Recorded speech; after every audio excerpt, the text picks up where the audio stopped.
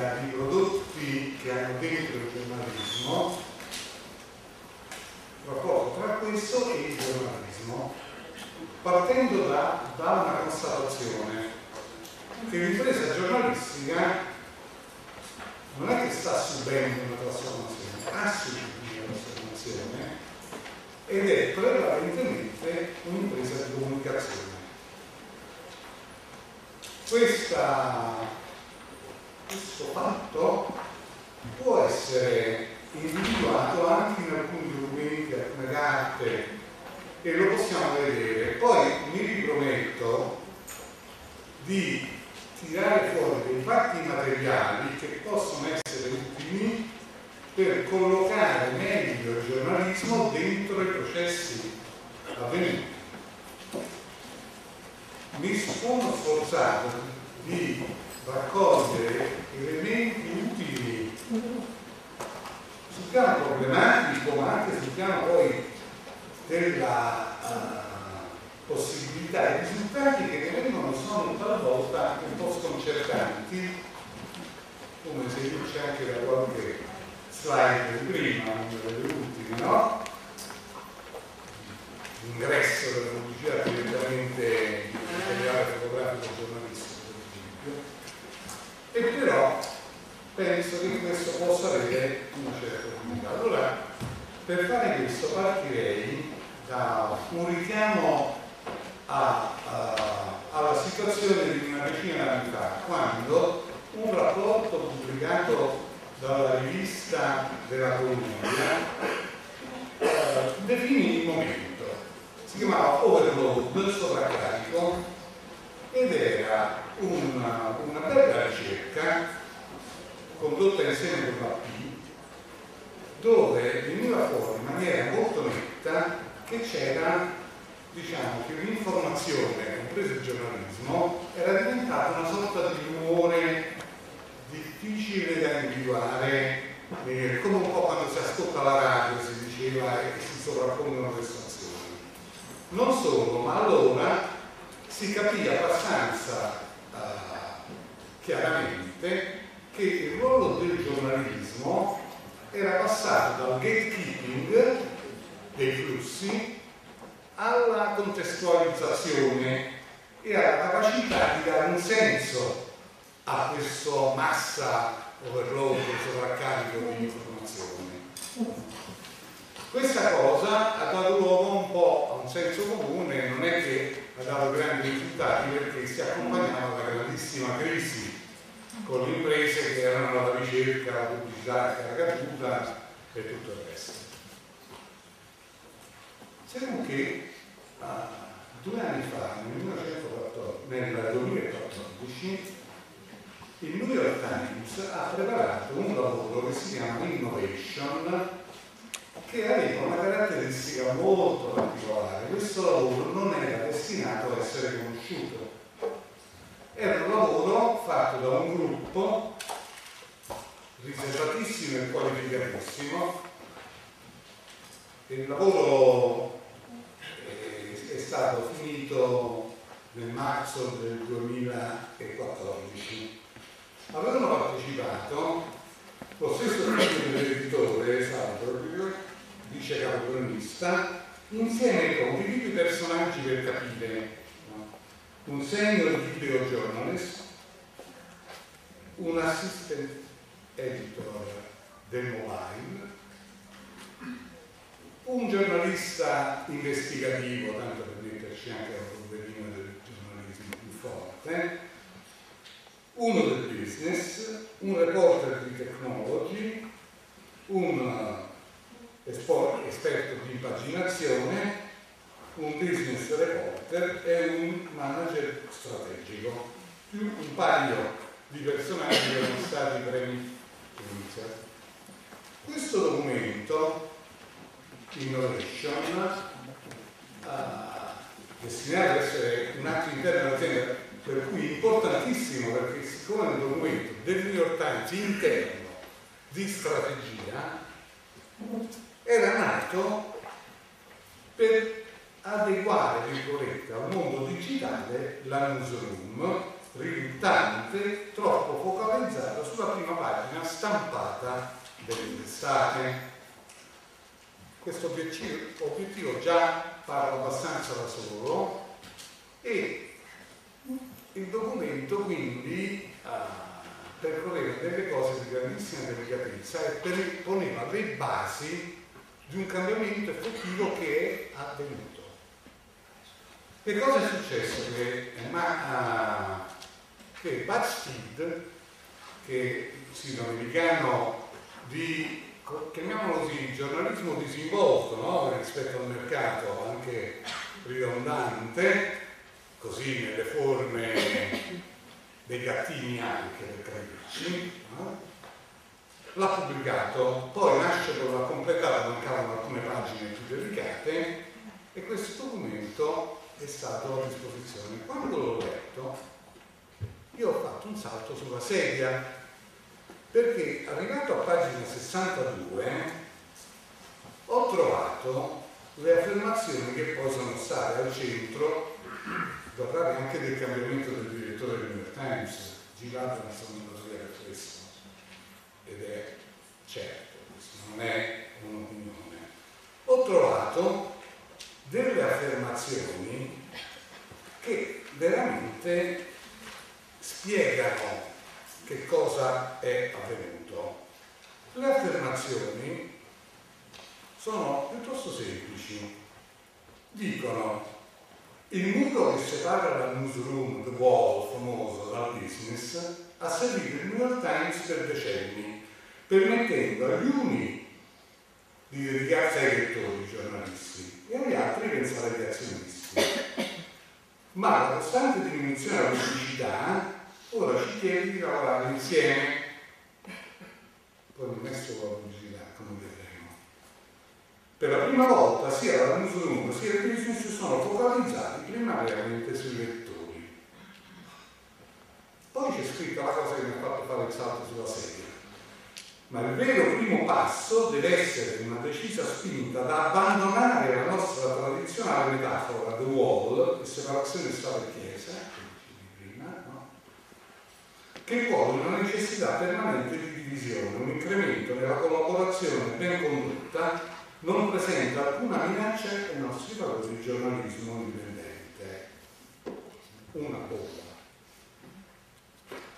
In quei giorni Girarda insomma dovuto lasciare, lei non, ha, non si è opposta per esempio alla pubblicità eh, questa nuova nativa sul sito, l'aveva semplicemente accompagnata con un po' di rigore perché diceva magari bisogna sapere se c'è un committente, no? Metterlo. E però questo contrasto c'è stato e ha portato alla sua uscita non solo ha portato alla sua uscita, ma pochi mesi dopo c'è stata anche una trasformazione nel giornale organizzativa che passava un po' sotto silenzio. Un giornalista del New York Times ha fatto un tweet su questo, che io ho. Hanno tolto di mezzo il Managing Editor, che era un po' anche nei, nei film, no? se ricordate tutti i nomi del presidente, il Managing Editor, che era il vero protagonista insieme con i due. E li hanno sostituiti con vice direttori in linea con settori del business, del giornale, che poi vediamo quali sono perché sono veramente significativi.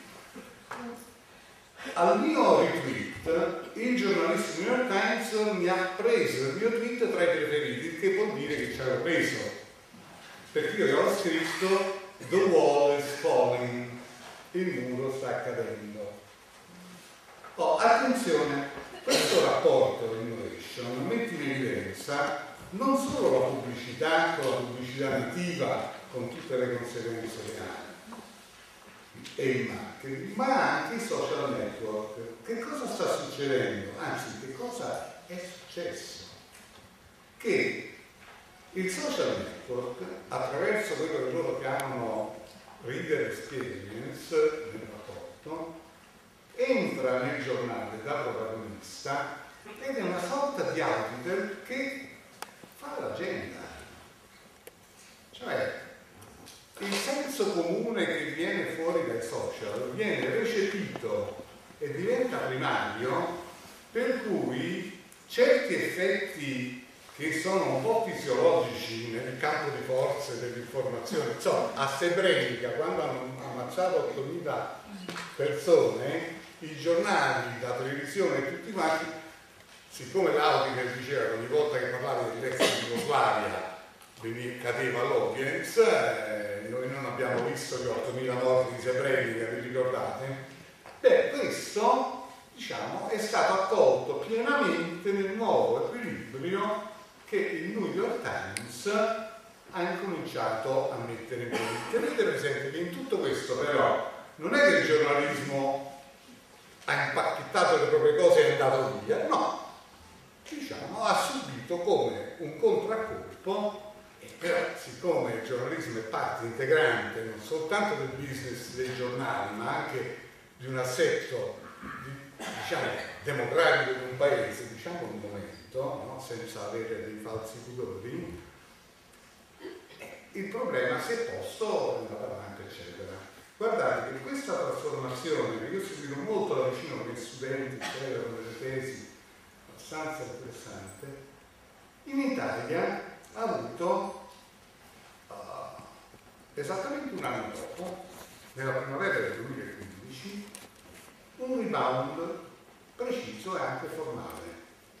Al Corriere della Sera, quando hanno cambiato il nuovo direttore, il direttore Ferruccio De Bortoli mi ha fatto leggere un documento, ma è stato un fatto d'occasione perché lui era venuto a Padova a fare una lezione conclusiva del mio corso, io dovevo chiedergli autorizzazione a pubblicare il filmato, stavo nel suo ufficio, stavamo insieme parlando e ho visto sul tavolo tre cartelle che mi ha detto guarda, ed era un documento che riprendeva pari pari lo spirito e la sostanza della trasformazione dell'impresa il New York Times portando la Corriere Sera in Italia, quindi questo è in atto, guardate, se uno guarda bene che cosa è successo già nelle pubblicazioni, vede, c'è pienamente. Mi ha fatto anche leggere la sua replica, sapete che Ferruccio Cotto è una persona piuttosto cauta no? nelle relazioni anche dei contrasti, non è una questione, però la, sua risposta che tu mi hai fatto leggere era sì, tutto va bene, però noi in questo dobbiamo salvaguardare la funzione, l'autonomia del giornalismo, sia pure dentro tutto questo, perché è fondamentale anche per la conservazione del giornale stesso. Questi due documenti non sono diventati pubblici in Italia. Un paio di mesi fa io uh, l'ho detto in pubblico a Ferruccio stesso alla borsa veniva premiato, io senza essere scortese, siccome lui faceva dei discorsi di allarme sulla situazione, ho detto ma sarebbe interessante avere questo documento perché questo documento cambia l'articolo 6, perché in Italia l'autonomia del direttore che chiama lui, eh, nomina chi sono noi da assumere, organizza il giornale, insomma nasce storicamente per garantire rispetto a una proprietà dei giornali e dei media che in Italia non è così legata al giornalismo è più legata ad altri interessi, insomma noi abbiamo costruito su questo quel minimo di autonomia che permette al giornalismo di vivere dentro a questa realtà traballante. Guardate che noi traballante sotto tutti gli aspetti, non è un caso che siamo 77esimi no? nel Reporter San Frontiere, eccetera. Non è un caso che soltanto adesso esce fuori Freedom of Information Act, il FOIA, che viene fatto da, no, dal governo, sia pure in una maniera ancora tutta da verificare, insomma siamo indietro su questo fatto. E anche su questo terreno, eh, insomma, i problemi che si pongono sono tantissimi. Allora, andiamo a vedere un po' meglio, no? Con dei fatti. Allora, vediamo, pubblicità e marketing. Expo. Expo. Un anno prima una pubblicazione, un supplemento del Corriere, ma anche di altri giornali, ha pubblicato degli articoli straordinari sui temi dell'Expo, erano bellissimi perché erano l'analisi dei contenuti reali che venivano proposti con questa cosa sul cibo, la trasformazione in tutto il mondo, no? il livello di vita, la dignità delle persone dappertutto attraverso il cibo, l'alimentazione sana, eccetera. Avvicinandoci all'Expo, che cosa è successo? L'ha raccontata Doriva Cerchi un pezzo sul fatto ci sono stati 50 milioni di euro che sono andati in media e quello che è venuto fuori è che il terreno su cui si è lavorato era proprio quello nuovo dell'impresa che ha trovato equilibrio in quelle maniere lì. L'Expo, se poi andate a vedere, ho fatto fare un paio di tesi, una ancora deve essere discussa il 16, viene fuori che praticamente si è accentuata la natura di fiera, i temi reali del giornalismo, dove il giornalismo è first, giornalismo first, sono piano piano diventati vanishing, vanishing newspaper. No? Questo è avvenuto, basta andare a vedere nei rapporti, eccetera. Guardate che nel frattempo, se voi prendete Corriere Repubblica Stampa, grandi giornali, eccetera, vedete che la notiziabilità si è allargata a terreni che notiziabili non erano il venerdì e il sabato, noi abbiamo una serie di diciamo, tematiche che diventano notizie, benissimo, che sono di un certo interesse, però sono una cosa diversa. Abbiamo, non so, i viaggi, la moda accentuata, ma la moda è, non so, le gonne, le borse, le scarpe, i, i viaggi, l'alimentazione in un certo modo. Benissimo, tutto benissimo. Questo però è la realtà. Due giorni fa il Corriere della Sera ha pubblicato un supplemento orologi e Repubblica pure. Ma quello di Repubblica addirittura un passo in più, era anche Olimpiadi. Se poi qualcuno ce l'ha avuto tra le mani, non si capiva più che cosa fosse questa cosa qua. Benissimo, questa è la realtà sul terreno di questo tipo. Dentro questa realtà però, e qui è l'azzardo, il giornalismo c'è, non è che non c'è. Adesso per esempio fanno in televisione degli spot perché bisogna dare l'8 per 1000, ma questi spot, per esempio quello della Chiesa Cattolica, se uno va sul sito che loro richiamano, sono delle storie giornalistiche. E così anche lei le storie dei media, no? le vite, la Telecom e così via. Diciamo, i media sono pieni di questa commissione, ma guardate che bisogna avere coraggio. E bisogna andare a vedere il giornalismo dove, tutelarlo dove, fare l'accesso dove, se noi vogliamo farlo sopravvivere, perché altrimenti noi non riusciamo a, ad averlo nemmeno più, perché un, una persona che fa per l'ENI un lavoro ed è un giornalista, se non è riconosciuto come tale perché c'è l'accesso in quel modo, c'è la tutela anche economica in quel modo, è come se ci fosse un medico in una clinica privata che però è meno medico, invece in realtà il medico nella clinica privata non è che fa l'operazione come al Santa Rita quando non servono per ricordare il caso, è un medico. Io sono un giornalista e siccome la realtà questo cambiamento c'è là, non è un cambiamento che avverrà, guardate, c'è, ma c'è nell'informazione locale, nell'informazione nazionale, nell'informazione alta, nell'informazione bassa, dappertutto c'è questo, quindi è necessario fare questo lavoro che io vorrei fare con voi per andare a vedere dentro queste cose come è possibile. Intanto vedere il giornalismo che c'è e come, e come l'uso di questi strumenti eccezionali possa vedere il giornalismo non subordinato perché qui poi gli editori, eh, gli italiani in particolare, non hanno la sfida né la capacità di muoversi col giornalismo nella testa, ma anche nelle cose più banali.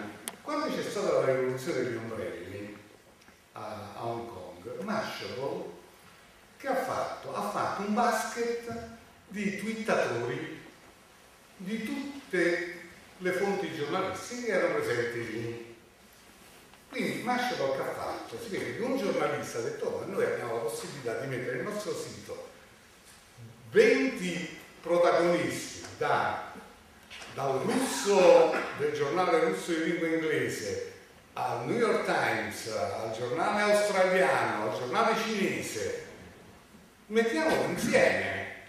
Il New York Times neanche un mese dopo l'ha fatto quando uh, in Canada c'è stato l'assalto alla, vi ricordate l'assalto al Parlamento? Il New York Times ha fatto la stessa cosa. In Italia no. Perché? Perché noi facciamo una cosa che per cui mandiamo i lettori dietro a qualcun altro, cioè non viene proprio nella testa, perché non c'è il giornalismo nella gestione dell'innovazione, no, non c'è proprio.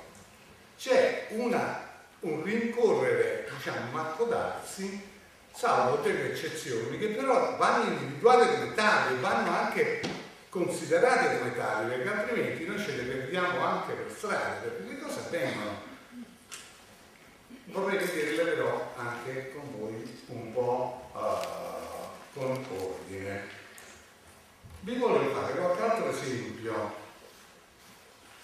anche problematico, perché magari dice ma è esagerato. La Coca-Cola a Dubai ha fatto degli spot un anno fa, un anno e mezzo fa forse, che si chiamavano Happiness Coca-Cola. L'ha fatti anche in Oriente o Capo io l'ho visto, sono andato a vederlo e quella è un'inchiesta giornalistica come le migliori che vedo alla RAI. Perché? Perché chi lavora a Dubai, a parte che muoiono sul lavoro in una maniera piuttosto frequente, trattato con grandissimo, no? dalla speculazione altissima, non hanno i soldi nemmeno per telefonare a casa la Coca ha raccontato le loro vite quando si svegliano la mattina, insomma come potrebbe fare Iacola per capirci, e poi ha, ha messo in piedi a Dubai delle cabine telefoniche distributrici di Coca-Cola che funzionano con i tappi della Coca-Cola.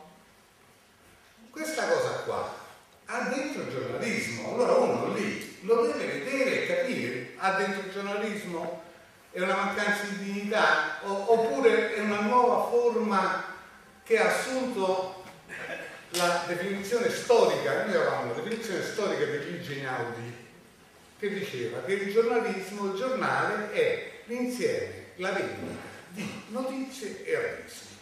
Adesso questa cosa qua non ha più la forma separata, non ce l'ha. L'ha detto prima, l'hai anche documentato abbastanza piuttosto importante. Quindi questa commissione è una cosa, non lo so, questo insieme c'era anche prima in una certa forma eccezionale, menava anche scandalo talvolta, ma adesso è sistematica la realtà. Allora noi dobbiamo andarla a vedere intanto, capirla, perché altrimenti la tutela perfino dei freelance che ci lavorano, questi che fanno le cose, le vite dei cattolici per avere l'8 per 1000, io ho chiamato per sapere quanti giornalisti c'erano, non me l'hanno detto perché non ce n'è neanche uno, però sono giornalisti quelli lì. Allora noi dobbiamo entrare in un'ottica così. Se vogliamo difendere il giornalismo, se no lo perdiamo anche, eh? qua in Italia sono delle cose, no? tanto al chilo è abbastanza semplice. Va bene. A un certo punto, però, su questi elementi qui, non basta, secondo me, dire, vabbè, tutto questo è legittimato. Va mantenuto a tutti i livelli la capacità e va, uh, non so come dire, va prima la prima ci vuole la consapevolezza, perché altrimenti io ho parlato con qualcuno di questi. Chi lavora, anche i migliori che lavorano, so, al Digit c'è sempre lei presente, personaggi, loro avrebbero piacere a essere considerati giornalisti e sarebbe anche utile perché c'è un limite poi nell'appartenenza, ma c'era anche prima. Quando Benetton faceva i grandi manifesti con le croci che mezza Italia intellettuale si scandalizzava perché serviva per vendere le magliette, però quello aveva una grande dignità. Io lo pensavo prima, ero un po' isolato perché insieme con Cesare Segre e con Corrado Stagliano feci un documento che si chiamava Manifesto, era contro il berlusconismo nascente. Quando siamo arrivati a questo, sono rimasti isolatissimo, mezza l'Università di Torino mi ha trattato come se fosse un venduto perché io dicevo, beh, la pubblicità di questa cosa qua ha dentro un contenuto, non so, di massa, però parla delle croci dei morti, mi ricorda la spiaggia dove sono sbarcati in Normandia, una cosa degna, è dentro la pubblicità, pazienza, è dentro la pubblicità. Cioè noi abbiamo bisogno di essere liberi nella testa per salvare dentro questa situazione che non è che sta cambiando, che è cambiata, il giornalismo dov'è e com'è, per poter diciamo, avanzare e difendere quello in cui noi stiamo per tutta la vita. Io, ciascuno di voi, qua con questo del io so, perché li conosco molto bene, so, gli studenti, tra l'altro è già un miracolo che non si sia perduto. Io mi sorprendo anche di trovare degli studenti sensibili a questo, per la verità, però ci sono, sono così. Uno l'altro giorno mi è venuto a dire, sa, professore, che Trump parla con parole di due sillabe. Come parla con parole di due sillabe? Sì, sono andato a vedere, così, le frasi di Trump sono parole di due sillabe, quindi il linguaggio. Poi una, un collega del Corriere mi ha spiegato che Kafka pure scrive con due sillabe, e dico, allora vuol dire che questo non è una cosa da niente, no, per dire che il giornalismo deve entrare dentro le cose quando cambiano ancora di più, però dobbiamo capirlo, saperlo, vederlo, raccontarlo bene. Adesso abbiamo il quadro che tu hai fatto, dentro questo quadro allora andiamo a cercare i singoli fatti. Qui ci vuole, non lo so, c'è difficoltà, i miei amici che fanno Cult Week, eh, che a Milano è una cosa carina, nuova, sul teatro, io gli ho detto, ma fatevi fare un'app, coinvolgete i lettori e gli ascoltatori vanno a vedere l'opera Tre Soldi che molto ha creato discussioni, se è streller o non streller, beh, fate partecipare tutti gli spettatori con un'app, visto che hanno tutti i telefonini, certo, non è facile farlo, però Insomma, portate il giornalismo dentro, invece se no che cosa succede? Che le eh, potenzialità di questi nuovi mezzi vengono utilizzate in una maniera che ammazza il giornalismo. Al Corriere della Sera, Fontana, che è dovuto entrare sotto quel cappello che vi ho detto, che cosa ha fatto? Ha fatto una cosa ottima ha detto, beh io porto la qualità del Corriere della Sera in tutti i mezzi, cioè sul telefonino, sull'online, sull'iPad, per cui ha organizzato il lavoro, venuto a raccontarcelo anche ai miei studenti, in una maniera sconvolgente per la verità. Ma sapete che non è aumentato un giornalista, anzi diminuiscono? Al New York Times hanno fatto la stessa operazione che è presa da lì, però dal 2008 non è calato un giornalista, perché se no tu che fai? Copia incolla, che qualità fai? Poveracci, cambiano gli orari di lavoro, ma non, non riesci te se non hai in testa il valore aggiunto e la capacità di interpretare, di collocare, di dare senso, di contestualizzare che il giornalismo è. Qualcuno nel mondo ce l'ha, la BBC eh, l'Economist mica hanno perso copia, l'Economist non ha mica perso copia, non ha perso neanche la pubblicità. Perché? Perché ogni volta che parla di una cosa che succede in un paese lo contestualizza, lo spiega dal senso a questo, non è un'alluvione di fatti. Tutti si preoccupano della gratuità e la stanno fronteggiando, però se tu la fronteggi col giornalismo nella testa, ragioni diversamente. Al mio tempo l'hanno fatto il paywall, è funzionato, ma guardate ogni volta che c'è una breaking news importante, santa, non vale più il, breaking, il, il paywall. Ma, ma, è ovvio che sia, ma perché a governare è un giornalista. Noi tra l'altro c'è un paradosso perché quello che era positivo, cioè il direttore come Serrato, oggi nella crisi più totale, con gli amministratori che arrivano con in testa i loro bonus che dovranno avere, non fanno altro che agire sui costi, non importa niente del giornalismo, non, non gli viene in mente che loro possono usare i nuovi mezzi.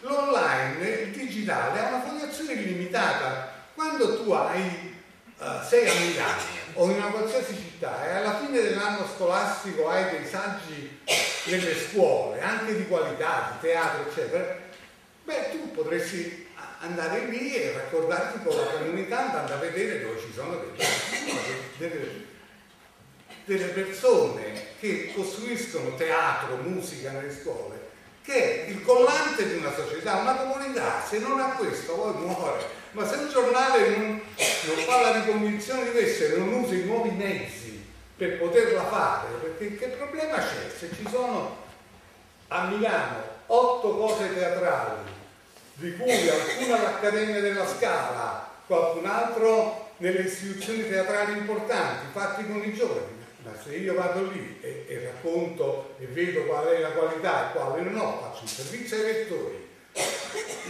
la fogliazione me lo consente, però di investire, devo avere un editore e i giornalisti che sono dentro là non possono stare come in miniera a lavorare per la propria sopravvivenza perché vogliono poi. Vabbè. Andiamo avanti. Gli altri esempi di questo tipo, guardate che c'è un'indagine fatta all'Università di Padova un anno e mezzo fa, che quando l'ho vista ho detto, boh, anche qua, ma cavolo, che vuol dire questo? E si scopre che chi esce da, da comunicazione a Padova L'indagine è un'indagine fatta, ho i numeri qua, per quello che sto cercando, per non avete capito. E chi esce da comunicazione trova lavoro nel giro di un anno e mezzo abbastanza stabile.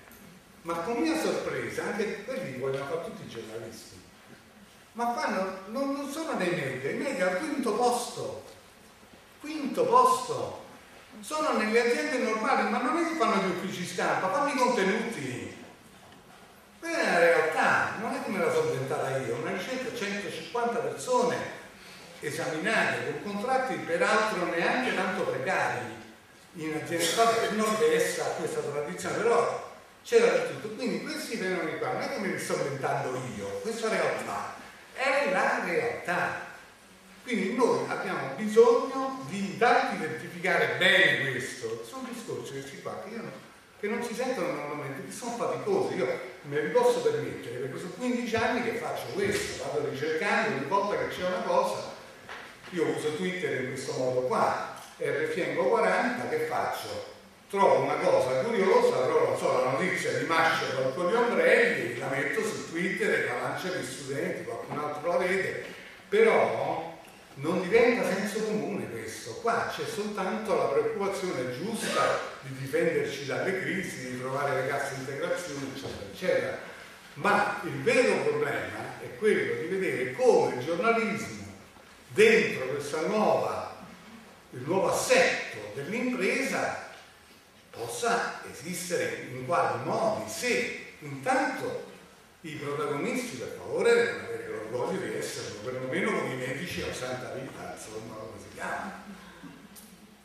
Adesso senza pretendere che qualcuno eh, diventi un eroe. Guardate, anche la cosa del FOIA, del Freedom Information eh, vabbè, io sono otto anni fa, l'ho cominciato a fare a Padova quando andavo studenti degli Stati Uniti, poi abbiamo fatto convegno, ho parlato con la Boldrini, ho spinto moltissimo perché i miei studenti tornavano dagli Stati Uniti e dicevano professore, ma se noi non facciamo il Information Act in Italia muore pure la democrazia. Eh, so.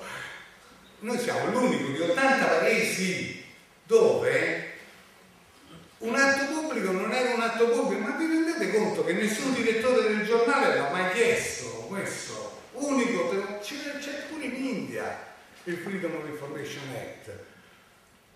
E con tutto che si stava facendo il Freedom of Information Act, quando è arrivato Rovagni con le statue che hanno coperto le statue, ricordate? Io ho fatto chiedere al foglia.it al presidente di fare la richiesta a Palazzo Chigi per avere copia della relazione. Ma perché questo è importante? Il giornalismo non può prescindere da per sapere qual è la realtà, al di là della polemica politica, Renzi o non Renzi si vuole colpire, ma chi se ne importa? La funzione nostra è mica quella, è di sapere come sono le cose. Beh, hanno risposto da Palazzo Chigi con una lettera che ce l'ho qua, dove c'è scritto che non davano, non davano il documento perché, perché si prestava al controllo sulla pubblica amministrazione che è una delle radici del Freedom of Information Act, mentre facevano il Freedom of Information Act. Pensate che negli Stati Uniti Obama è stato costretto anche a dare la ricetta della birra della Casa Bianca.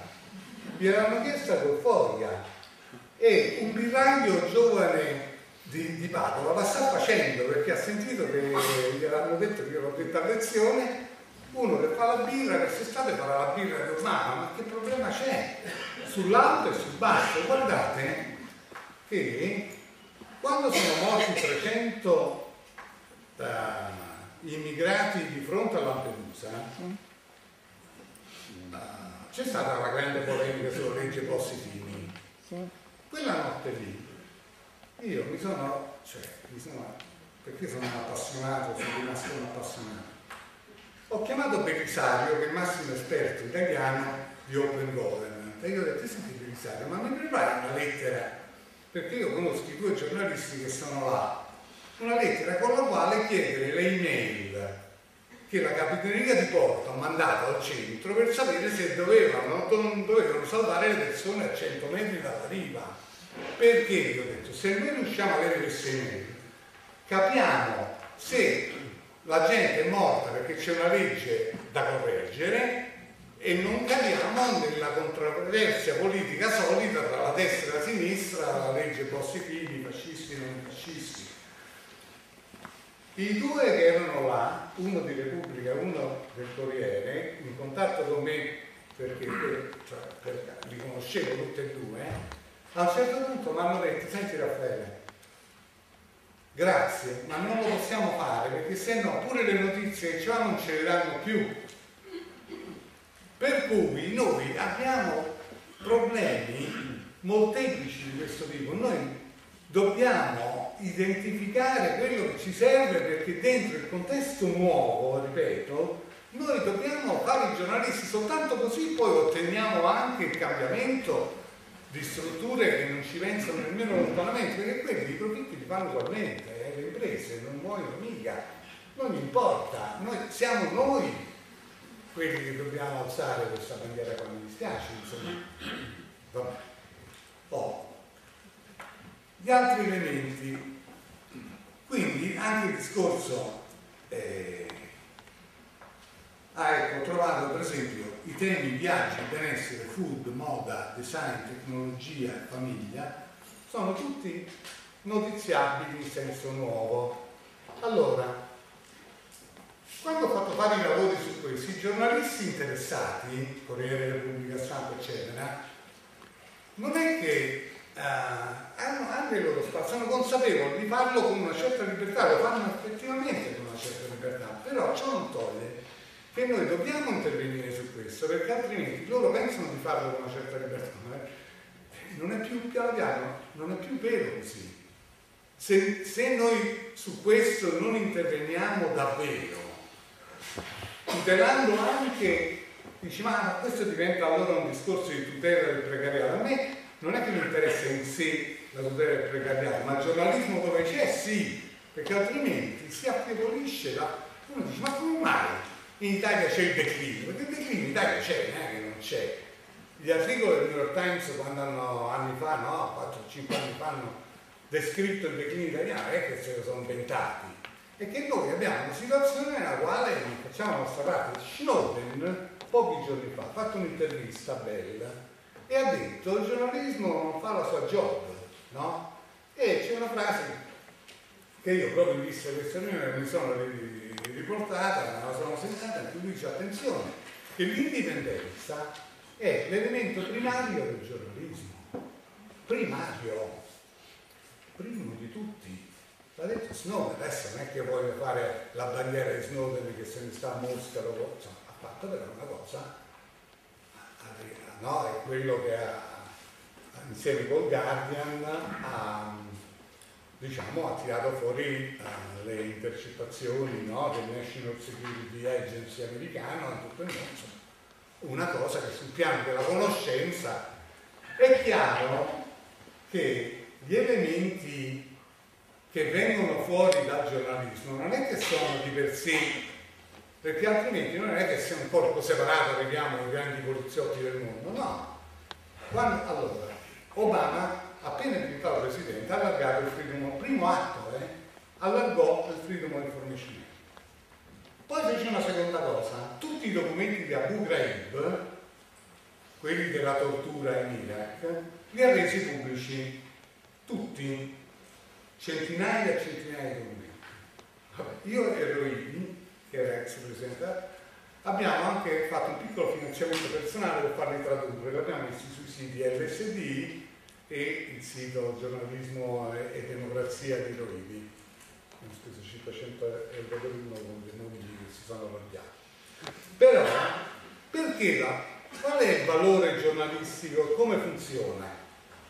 Scusate se sono un po' didattico, risento un po' forse. Allora, un paese dopo le torri, eh, insomma, preferisce la sicurezza al giornalismo. E quindi il fatto che ci siano state le torture, ovviamente da rifiutare e da correggere, e insomma nell'opinione pubblica trova qualche giustificazione allora, un paese serio dove c'è il giornalismo che fa? Perché tira fuori le email con le quali i comandi militari decidono se il waterboarding si può fare o no e in che limiti si può fare? Perché un paese democratico con la funzione giornalistica che è essenziale, di fronte a questo mette davanti senso dell'opinione pubblica dopo che gli hanno ammazzato 2000 passa persone sulle torri, la sicurezza necessaria dopo che gli hanno bombardato la maratona di Boston e dice, beh, io però sono un paese civile, la tortura no, correggo, faccio in modo e avviene qualcosa, avviene qualcosa. Guardate che il giornalismo è fondamentale Ogni tanto noi diamo prova. Caso Ayan, il piccolo sulla spiaggia. Il giornalismo ha vinto.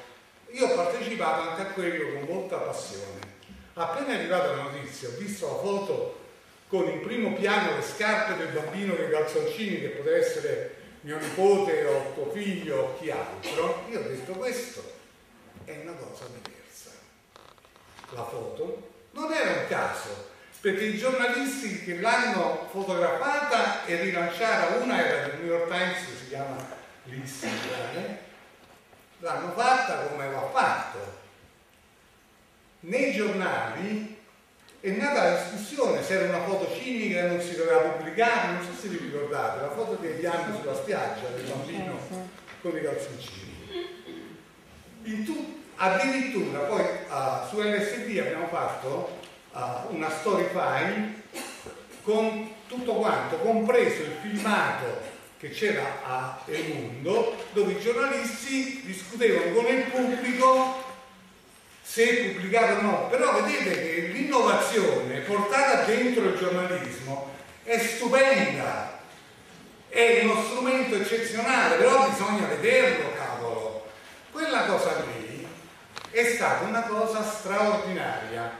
Nella Storify, questa ragazza si chiama Leila Zoya, bravissima, ha messo anche un pezzo di social network dove una mamma ricordava la mamma di Cecilia di Manzoni, col bambino portato sui monatti. A me mi viene la pelle d'oca. Era meraviglioso, era un modo di mettere insieme giornalismo ha vinto contro tutti i governi, perché i governi prima di prendere un atteggiamento hanno mille ragioni demagogiche, i voti e le cose, lo vediamo alle elezioni, no? Quello che succede in mezzo Europa adesso. La Merkel ha fatto riuscire lì, è tutto merito del giornalismo, che in quell'occasione, per un momento, messo insieme le potenzialità nuove, la sensibilità storica, tutto quello che volete è venuto fuori, ma questo si può fare tutti i giorni, in tutte le città, nel paese, in Europa, andando a vedere le cose che servono, lo possiamo fare noi, lo potete fare voi. Scusate aspetti. Andiamo avanti, pensate che se no io poi parlo sei ore e guardate che per esempio l'introduzione del Freedom Information Act però non è che da solo risolve perché io ho parlato con Renzi che è qui presente dell'LSD, il quale si è mosso con l'ordine della Toscana e gli altri ordini nazionali per dirgli guardate che noi dobbiamo spiegare ai giornalisti che sono questi strumenti, insegnargli, dargli l'abitudine a usarli, perché noi in Italia non ce l'abbiamo. Dice ma che serve? Ve lo dico io a che serve. Quando abbiamo fatto il convegno a Roma per promuovere in Italia questo Freedom Information Act è venuto un certo Frankel di Londra, il quale ha raccontato a che si è servito lì il foglia.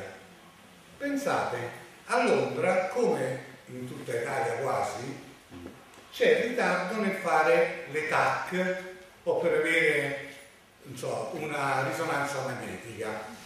Che col foglia, quello a Londra, Frank, ha ottenuto nel giro di due settimane tutti i dati sull'uso delle macchine negli ospedali a Londra, i turni di lavoro, se lavoravano fino a che ora, se lavoravano il sabato, la domenica. Nel giro di due mesi hanno ottenuto che l'abbattimento delle attese per fare le tacche, hanno salvato pure le vite, con semplice applicazione e col giornalismo che fa la sua parte.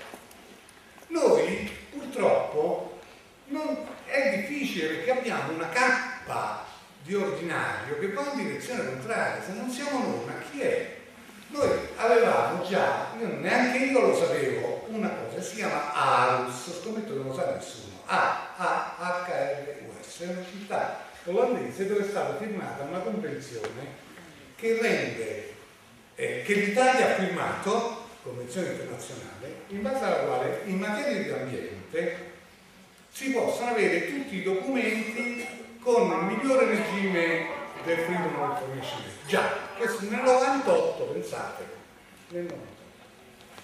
Io non lo sapevo. Una mia studentessa è andata in Calabria dietro a una uh, discarica, è stata qua tre mesi per fare la tesi, non riusciva a farsi dare, alla fine gliel'hanno dati perché? Perché io gli ho fatto preparare la richiesta, quando gliel'hanno dati mi hanno detto però lei non li deve far vedere a nessuno ma per dire che noi abbiamo anche da rimuovere degli ostacoli molto molto diffusi perché l'abitudine il giornalismo italiano si è abituato a lavorare su quello che alla fine conta meno, fa soltanto correre. Noi, non so, se le persone abusano del passaggio sulla preferenziale, noi facciamo dei pezzi con i nomi delle persone che abusano, però non avevamo né gli strumenti per andare a vedere come era nato questo provvedimento. Chi è che aveva fatto il provvedimento che ha dato a pochi notabili il permesso di, di andare sulle preferenze? Non lo facciamo, non c'era neanche la legge, per cui adesso, anche se c'è la legge, non è detto che riusciamo, però se noi non siamo consapevoli di questo non sappiamo, non lo possiamo nemmeno chiedere. Il primo passo è quello di sapere, io per quello titolo del mio intervento oggi, beh, ma questo cambiamento che c'è, come coinvolge il giornalismo? Che fine fa il giornalismo? Perché insomma è sottoposto un po' di pressione non tanto piccola. Allora, certo, nel frattempo, però, le cose non è che non si muovono, perché gli esempi che ci sono in tutto il mondo che nonostante la trasformazione e tutto quello che stiamo dicendo va, ci sono Mediapart. Allora, Plenel è uscito dalle Monde, è andato a fare Mediapart quattro anni fa in te. Mediapart che cos'è? È un sito che non ha la pubblicità.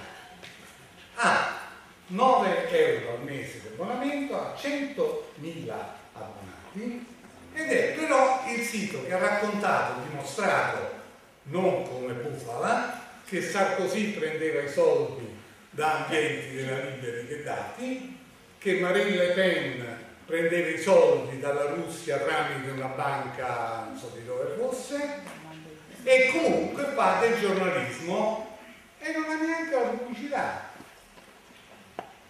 Le Canal, Le Canal Enchaîné è un giornale che fa 400.000 copie settimanali, guardate, 400.000, mi pare settimanali o bisettimanali, mi ricordo. Non è mica su internet, quindi non è univoco il discorso, anche lì, journalism first, quelli fanno il giornalismo, non è che fanno solo le vignette del canale, fa fa quello che ogni tanto qualcuno fa in Italia con qualche inchiesta giornalistica, fa il Corriere, che so, Stella e Pizzo, l'altra parte, però l'insieme del sistema non è orientato così, non è legato agli interessi fondamentali della comunità. Guardate che questo è il punto chiave, eh? è il punto chiave.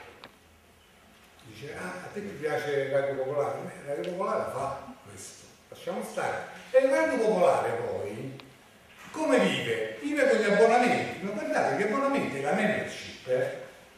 la, come si chiama? Uh, l'abbonamento, non so come la chiamano loro, non Abbonaggio. Abbonaggio. All'abbonaggio, scusa, ma la nuova direttrice del Guardian, siccome non le piace il paywall, sta muovendo verso la membership, perché insomma, però sempre con la stessa bandiera quello è il giornale che ha pubblicato le cose di Snowden. Eh? Poi, che cosa è chiaro, Greenwald, come si chiama, Glenn Greenwald, se n'è andato a Intercept, dove ha trovato il padrone di eBay che gli fa fare un giornale. Peccato, vabbè, è difficile perché le cose che hanno fatto l'anno scorso sono eccezionali, perché i droni papers sono stati pochissimo divulgati poi in tutto il mondo, però sono un'inchiesta giornalistica eccezionale, perché lì alla critichella Obama non Obama, io ho debolo per Obama, c'è perfino il vestito di quando è stato nominato uguale. Eh, sì, capito? E, però loro ammazzano la gente senza processo con i droni. Allora un paese lo deve sapere, poi magari li ammazza ugualmente, non lo so, se stabilisce che davvero sono gli assassini dell'ISIS, non ti so dire, però noi non possiamo non lavorare nella direzione del giornalismo, soprattutto con questa trasformazione che, ripeto, non è da fare, ma c'è già avvenuta. Se noi non siamo consapevoli di questo e non interveniamo, anche quelli che devono fare la legge dell'ordine, devono cambiare l'accesso deve essere rapportato con questo cambiamento, perché tu se no perdi per strada migliaia, non solo quelli guadagnano pochissimo oggi e quando vanno in pensione, ma muore il giornalismo pure, tu te lo devi porre, eh, questo, e, e purtroppo gli unici che lo possono porre in prima persona siamo noi, siete voi qua, perché noi ce l'abbiamo il virus del giornalismo dentro e e questo ci aiuta perché le istituzioni non, insomma, stentano, non, non dico i partiti pure ovviamente, ma anche le istituzioni della professione sono un po' lontane, ma non per cattiveria, non è che sono cattivi, io li conosco, cioè, non hanno, uh, io faccio questo la mattina alla sera da 15 anni, cioè, no? Ho anche eh, gli strumenti da voglia. Certo, quello che avviene nel mondo di nuovo è tantissimo, la vicenda di Weiss non è male, perché Weiss è nato un po' come Buzzfeed all'inizio, poi adesso c'è 34 uffici in tutto il mondo, si dappertutto, ogni volta che c'è un avvenimento, Weiss fa la cosa che serve. Quando c'è stato Charlie Hebdo, sono andati a casa del direttore recente hanno fatto un servizio meraviglioso, ma i giornali grandi giornali no. Cioè, non lo so, c'è una necessità di, dire, di certificazione e di consapevolezza di quello che siamo in questo cambiamento. Anche quando c'è stato Bataclan, io l'ho fatto, facevo anche un po' pena, perché l'ho fatto con i miei studenti, ho fatto fare 93 biografie di tutti i morti in Bataclan, no? Che in Italia non ha fatto nessuno. Perché lo fai io all'università, cioè, no? C'è una sorta di difficoltà, per fortuna poi dei fatti motivi scatta qualcosa, è scattato con Mayan, no? E si è verificato uh, questo. Certo, delle cose ci sono, Varese, Varese News per esempio è una cosa che segna, no? Non c'è nessuno qua di questa realtà. Beh, insomma, è una cosa che, che vive e ce n'è altre, ce n'è altre. Io seguo anche qualcun altro, vedo purtroppo, però sono come ignorati, come si chiama, uh, Key Code Mac, è un'altra realtà diciamo, di significato, pieno di senso. L'esperienza di 99 pagine, come si chiama? Pagina 99, era da aiutare, perché insomma lì facevano, bastava sfogliarlo per vedere del giornalismo diverso, più, più sost... Mi ricordo quando c'è stato il treno in bilico sulla Savona, loro sono andati là e hanno raccontato bene le difficoltà di tirare fuori dal binario il treno con una gru che stava in mare era difficile, però era una cosa vera che serviva. Cioè noi, quindi le cose non è che non sono non sono possibili, però dobbiamo volerle. Io aiuto con questa cosa qua, sono stato contento, quindi guarda, metti insieme le cose che sto facendo in questi anni, sono punti secondo me meritevoli di essere, come dire, magari sono problematici, magari dico anche qualche sciocchezza, perché magari no, non è detto che un giornale c'è un grande avvenimento, necessariamente debba andare a fare lo sforzo per vedere chi sono i giornalisti là per mettere il basket dei twittatori. Insomma, mi può dire ma tu sei matto, vuoi portare il mio traffico altrove, che ne so. Però questa ottica qua ci vuole e questa conoscenza qua ci vuole. Guardate che le cose che abbiamo visto poi via via, io appunto, ripeto, le, twitto appena le vedo, quando è uscito Snowfall, oh, Snowfall era una cosa straordinaria, era una di neve, non era mica la fine del mondo, però quello hanno investito moltissimo. Però il prodotto giornalistico che è uscito mi alza in piedi tanto di cappello con le visioni fatte con i droni dall'alto di quella zona di montagna, era il giornalismo con i nuovi mezzi, ma il giornalismo con i nuovi mezzi, non, so, non soltanto la possibilità, perché in Italia le tentazioni di usare il nuovo soltanto per tagliare le cose, io le ho straviste, mi ricordo che, che qualche anno fa il rappresentante degli editori a un certo punto ha detto, beh ma noi facciamo il giornale senza i giornalisti, l'hanno pure fatto perché a un certo punto tu quando scopri che la gente, so, 15 anni fa, prima di andare via dall'ufficio si collegava perché così non, non, non doveva spendere a casa vedere le notizie, il Paese, Repubblica altri giornali che hanno fatto un software in cui tiravano dentro le notizie, si potevano stampare 12 pagine di giornale senza mano di giornalista, vi ricordi? L'ha fatto pure Repubblica. Però, capito? Insomma, le cose saperle e però integrarle con un altro punto di vista, come vedete è sempre lo stesso discorso. Certo, c'è un altro discorso da fare. Il giornale non deve mai dimenticare la propria mission di collegamento con la comunità. Io sono rimasto moltissimo male il giorno della morte e funerale di Abado. Perché? Perché in piazza della Scala c'era una cosa che doveva essere vista in tutto il paese al suo massimo. Un grande giornale avrebbe dovuto mettere la foto grande perché lì c'era il riconoscimento di che cos'era la musica per una comunità, che cos'era quel personaggio, il fatto che tutta la città convergeva per onorarlo. Il Corriere della Sera ha pubblicato una fotina da una finestrella. Oh, il giorno dopo però l'International New York Times c'era la foto a tutta pagina. Ma perché? Ma quello, vedono quelli, non lo vediamo noi. Io sono molto arrabbiato con me stesso, perché chi ha perché colpa mia quando potevo non ho realizzato quello. Vabbè, lasciamo perdere, questa sì, è la verità, troppo moderato. Vabbè, andiamo avanti eh, un pochino su questo uh, discorso, perché li ho mischiati un po' tutti, perché mi veniva bene così, e quindi... Eh, qualcuno sulle cose che ho detto finora vuole interrompermi con una domanda, accetto ovviamente, no? No, volevo invece dire un pochino uh, che c'è qualche luogo comune da rimuovere. Qualcuno dice, eh, ma Twitter c'è 120 caratteri, 140 caratteri non serve niente. O un altro che dice, eh, però sul, sul, digitale non puoi fare le cose lunghe, serie, devi andare. Non è per niente vero questo, non è per niente vero.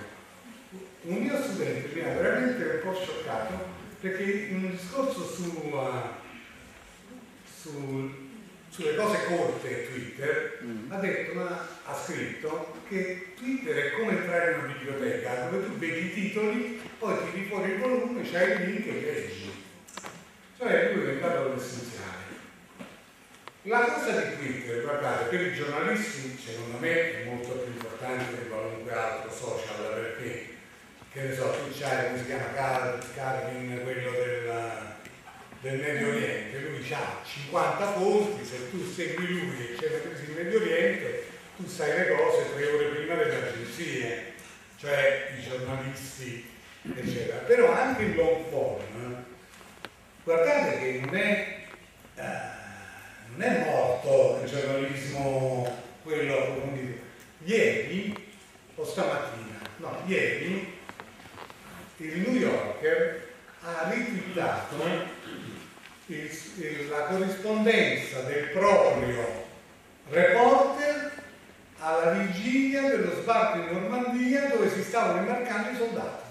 E ha fatto il primo pezzo come ha dato per, per Hiroshima il pezzo sui sei sopravvissuti uscito un anno dopo Hiroshima che è un capolavoro giornalistico guardate queste 60 pagine 60 pagine e quando c'è stata la piaga io mi sono letto tutto di un fiato un pezzo sempre sul New Yorker che raccontava come al Polo Nord una scoperta di un sommergibile che era nei ghiacci, si sono sciolti i ghiacci al Polo Nord, no?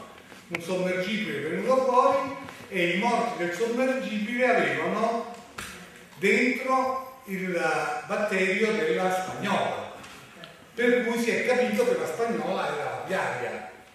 Beh, a conto di questo, ma uno se lo legge tutto, tutto, 40 pagine quante sono, quindi dipende da che cosa scrivi sempre, quindi certo, stile eh, che occorre nelle breaking news è una cosa, un, un servizio così un altro, però nulla è da escludere, così come ho cercato di dire. Io però farei una, come dire, mi fermerei quasi qua chiedendo a voi, perché ho tempi, devo stare, scusate, 49 perché devo finire no io volevo però concludere il discorso dicendo che secondo le analisi che penso di fare con un certo rigore questi fatti materiali messi insieme esigono come la creazione di un hashtag che io cercherei proprio di proporre che è journalism first cioè digital è importante, fondamentale. Sbaglia uno che, beh, io mi ricordo che, che miei, quando veniva fuori internet, diceva è come il borsello, una moto che passerà, è sbagliato. Guardate che guardate, questi personaggi, adesso non niente contro Mieli perché signor giornalista, però insomma era abbastanza diffusa un'opinione di questo tipo nel giornalismo, quello soprattutto tutelato dei giornali, no? di non vedere eh, quello che avveniva. Io ricordo addirittura che un giorno alla riunione del Corriere noi avevamo la mattina avevamo un'intervista con Voitila e però al pomeriggio lui aveva una conferenza stampa. Beh, non l'abbiamo mica messa sul sito, giuro, perché un personaggio ha detto ma a noi che ci interessa. Insomma, quindi il ritardo c'è, ma il ritardo è anche legato con una sorta di pensiero non espresso, di strutturare così magari qualcosa, no? Un privilegio? Non lo so. E poi permettetemi di concludere anche con una cosa un, un po' demagogica, perché è avvenuta, riferisco, eh, a un congresso dei giornalisti. Io sono stato applauditissimo per una frase che pensavo mi, mi picchiassero io ho detto attenzione che i giornalisti italiani rischiano di essere i topi del formaggio. Insomma, noi, i topi nel formaggio, ho detto. Mi hanno perfino applaudito, però guardate eh, che questo noi siamo, il giornalismo deve essere la comunità. Oggi questa cosa qua è fondamentale perché quello basta essere un analista di quello che succede nel mondo e lo capisci anche quello che sta succedendo in Europa. Non ce la fanno i governi a fronteggiare l'ondata populista. Ci vuole la crescita della conoscenza degli individui e la fanno